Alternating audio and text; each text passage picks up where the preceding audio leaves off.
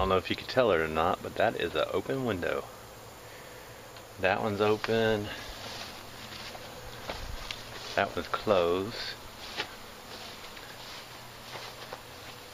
And that one's open. And the reason it's open is because the Daikin unit is broke. When one's broke, that kind of tells me one of two things. Either the wires are crossed or it's low on Freon. So we're going to take the cover off this unit here and put my gauges on it and check and see if it's out of Freon.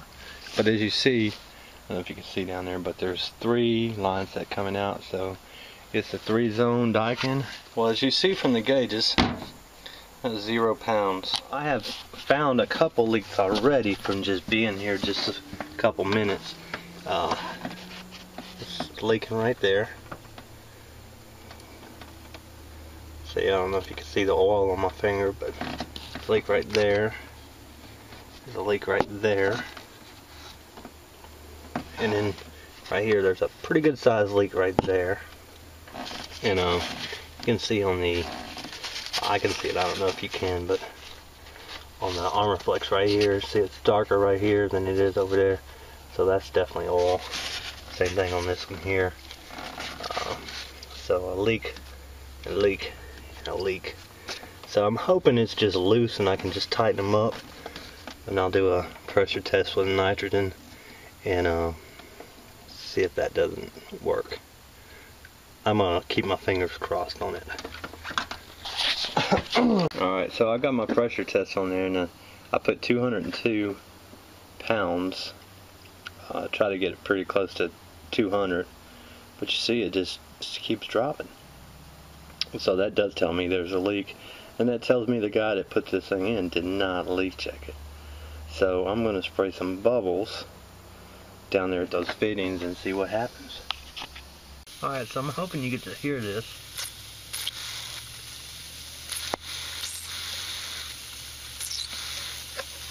Sounds like bacon sizzling. But it's definitely, definitely got a leak right there. It's just blowing out. We're gonna see if we can't tighten that up. Alright, so I, I found the leak. Um, it would not, I could not get it to, to uh, well look at that. No wonder it's leaking. Wow. I guess with a broken flare, I guess it would leak.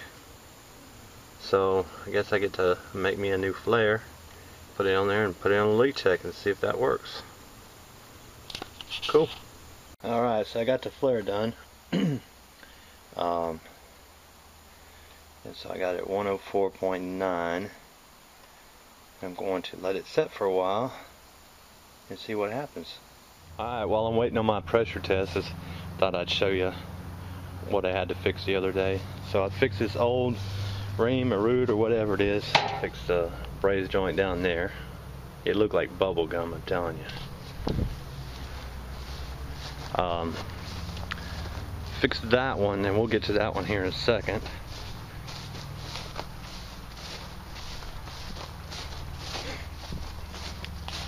And uh, fix this one, the braze joint down there. So, oh, there's another Daikin. Look at that. But that one works. Um, so let's go back over to this other one. Oh, and actually, that Daikin right there doesn't work. Hope my friend the black snake doesn't come out.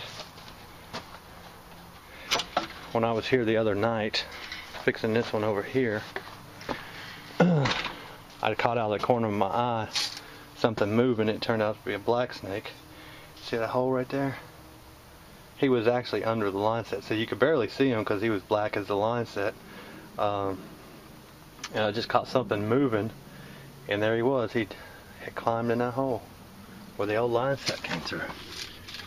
So I hope he's gone.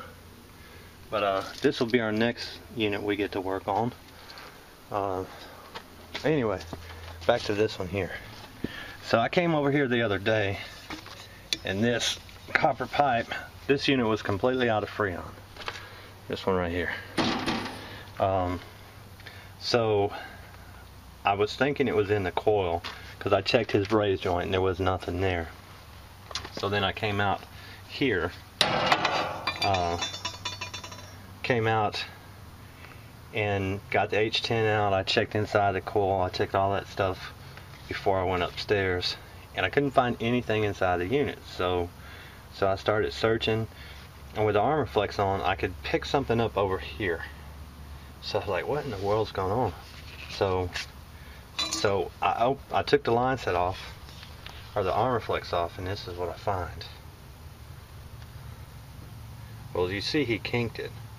See that little circle right there? Little black circle. I put that circle there. Every time I got close to that spot right there, my uh, leak detector would go off. And uh, he had a crack. He's got a crack right there. Now I tried to find it with bubbles and could not find it. Uh, that phone call was the uh, Ruud distributor. No, the Rheem distributor. Top leak kill the compressor guy. Um, I had to call about the warranty on the coil. It's going to take them two weeks to get that coil. But anyway, they had to find out if they're going to honor the warranty. But anyway, so you see the difference. See the difference here? See, I use a tubing bender. I use my little pipe bender, and there you go. And my expander. Oh, and I had to do one up here too for some reason. But I use the expander there. Um, there you go. So, you can't beat the expander, especially when you have something that looks like this. Alright, so I found, fixed the leak, pulled the vacuum, did a triple evacuation. Uh, what I did is I pulled my, uh, pulled the vacuum down to a thousand microns. Then I broke the vacuum with nitrogen up to zero pounds. Then I pulled another vacuum and got it down to about 750. Broke my vacuum again with uh, nitrogen until it gets right at zero. And then I uh, pulled my vacuum again down to 500 microns. That should get me now, I'm adding refrigerant to it. Uh, it takes about six and a half pounds. So hopefully uh, it doesn't have a dead compressor in it. We'll see. So we are getting there. It turns out the compressor is good. It calls for 6.61 pounds of Freon, or, or 410A. We're definitely getting there. So all three units are running on the inside. Now I only have one port hooked up because I only have one 5 16 adapter. So, um, so that's just the way it is. But we're getting there. Alright, so I'm over at the second one now, and I can already pretty much tell we have a leak right here. Um, right there. Maybe one right there. But I got over here before I put my gauge on, pulled the cover off, and the liquid cap was missing. And yes, it is a liquid line. Look, it says liquid. But once it gets past here and gets down and going to the unit, it's now a saturated vapor line because your TXV or your meter device, your TXVs are right here on the outdoor unit. So I'm going to check these. This one may be leaking right there. Um, so I'm to check these and see what we got. Alright, so I've checked here. I don't have any leak that I can tell with the Bloodhound. The Bloodhound. I've tried bubbles. I pumped it up with nitrogen to uh, about 204. What I did is I capped the, uh, I closed the valves on the unit, and then uh, we had about 59 pounds of uh, standing pressure with 410. So I, I closed the valves and I put about 204 pounds of, of nitrogen and 410 so that way I would have some sort of tracer if I had to go inside. Now this is uh, there's actually I believe there's one just on the other side of this wall. There's one just on the other side of that wall, and then there's another one. Uh, well, you can follow cover right there. So it's just on the other side of that corner, right there. I'm going to go into each unit, open the cover, and see if I can't detect it with the leak detector before I start cutting sheetrock. Because the next place is going to be the flare inside the wall. Alright, so I found my leak. It's on this little joint right here. I don't know if you can see it right there. But it's for the best, I guess, because when I was out here the other day, I noticed this. Not the shades, but I noticed. See my hand? See my hand in there. So that bracket is barely hanging on the wall. So I get to fix that. Now, here's the sad part about jobs like this. The guy that put this thing in is probably out on the lake right about now. It's Friday evening. I don't even know what time it is. And guys like me have to come back behind them because they won't come back and fix their work. This is still under warranty. They can't get the guy to come back out. Um, I guess he's had his chances to fix it. Couldn't do it. Didn't know how to do it. Guys like him get to get these kind of jobs and get to make a pretty good chunk of change doing it. And then guys like me get to come fix their work. This air handler is hooked up to a three zone Daikin outdoor unit. There's four of them out here. You know, that's a pretty good chunk of change. Plus he's set regular outdoor units and coils. We're going to uh, get this fixed. Rehang an air handler. Alright, so we got one screw up at the top that's not attached to anything. No anchor included. Got that one there. And look at this down here. I swear to God, fellas, I did not do that. It was out. Been out like that. Look at that. What kind of dumb stuff? That ain't nothing. That is no. Man, this is what you gotta put in there. Anchors like that. So, that's what we're going to do.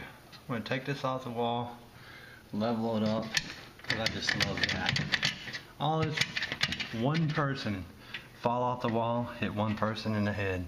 Look, they didn't even put a screw over here up whatsoever. That one's, that one just pulls straight out, like that. kind of dumb stuff is that? So, we're to get started. Get this secured back to the wall. Well, I don't know if you can see the bubbles, but uh, that's where it's leaking. That's where it's leaking. So, but it's probably for the best it was leaking because see I put a uh, anchor there, an anchor there, an anchor there, one down there, one right there, and one right there. All right. Alright, so I've got my uh, uh, piece of pipe, my old flare in right there, take cut off. I tried to tighten it, I just couldn't do it. And uh, got me a new flare made up there. Got my bracket on the wall. See, it ain't going nowhere now. I can hang off it. Alright, so I got my air handler hung back on the wall. Um, on the Daikins, you see those screws right there?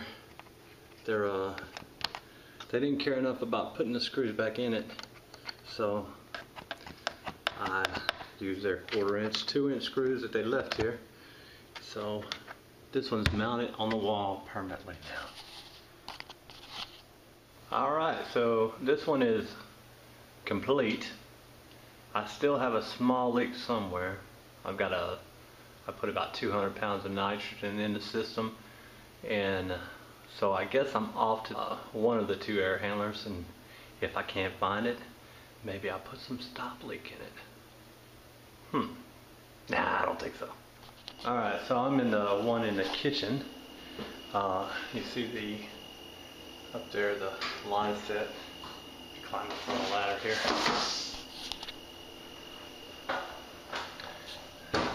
See the line set, how it's not wrapped. Well, if you don't wrap these things, it will sweat. Uh, so he didn't care enough to wrap his stuff. Uh, when these things get running, water will be running down the wall. So, uh, and then they'll be calling, hey, it's leaking. And then I'll have to come wrap the line set for them. See, like that one goes through the wall. It's not even wrapped. Numbskulls. All right, we're getting ready to look at that one right there. Seems to be leaking down the wall. I don't think it's a drain issue. I think it is a uh, line set not being wrapped issue. But we will see. All right, so I got the cover off. And it is right there. So I got the cover off and uh, there you go. Think that needs to be wrapped? It's no wonder there's water leaking down the wall. Alright, so what I've done is I've taken water, see that measuring cup right there on the table, taken water and poured right here into the drain pan so it will, uh, so I can see if the drain pan was overflowing. Or this is the same, almost the same exact unit that I, um, that I changed the back end the other day. You see that right there. Let me show you what it's done. She said that the water was leaking from right here uh, in the corner coming down. So I looked at the back of the cover right there. You see right there, all that green, that's from it dripping. So what I think is happening is is running from here down here and dripping out of there dripping right there. So I'm gonna let it run for a little bit and see if I don't see where the water's coming from, but I have a good, it's definitely coming from right there. All right, I found, figured out why the um, uh, drain was overflowing, why she had a ton of water going down the wall. Uh, here's your drain line right here. Uh, if y'all remember that one where I repaired, took the whole thing apart, and that was broken off. Well, here's your drain line right there. And if you follow it around under this, above that clip, and you see, what does it do? It goes uphill. So it winds up leaving the building higher than what it leaves the unit. So when that fills up, of course, it's going to overflow. So that's why a bunch of water was pouring out of there. But I, while I got this open, I'm still going to wrap that. So make sure there's no oil there.